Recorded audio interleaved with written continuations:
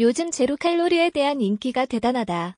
탄산음료에서 시작하여 음료 시장 전반으로 번지더니 이제는 주류까지 제로 상품을 내놓기 시작했다.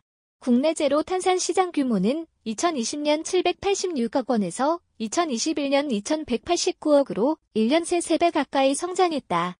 그런데 우리가 이렇게 열광하는 제로 음료 어떻게 제로 칼로리가 가능하며 과연 안전할까? 바로 알아보자. 어떻게 제로인가? 기존의 음료가 단맛을 내기 위해 설탕을 사용했다면 제로 음료들은 수크랄로스 같은 인공 감미료를 사용한다.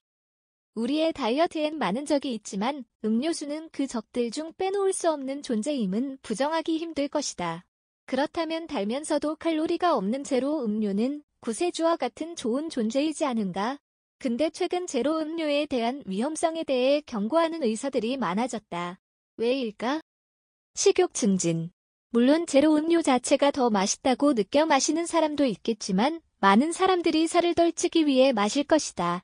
하지만 제로 음료에 많이 사용되는 수크랄로스는 기본적으로 식욕을 증가시킨다.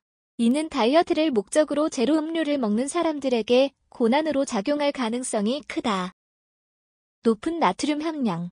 제로 음료는 설탕의 부재를 보완하기 위해 더 많은 나트륨을 함량한다. 사실 음료 안에 함량된 나트륨의 양으로는 문제가 되지 않으나 세계보건기구가 권장하는 2000mg 대비 약 1.6배의 나트륨을 소비하는 우리나라 사람들에게는 크게 작용할 수 있다.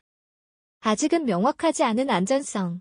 앞선 이유들은 자제력이 강하거나 다른 음식을 통한 나트륨 소비가 적은 사람에게는 그다지 위협적으로 다가오지 않을 위험성이지만 마지막 위험성인 아직 명확히 밝혀지지 않은 안전성은 모든 사람들에게 위협적으로 다가올 것이다.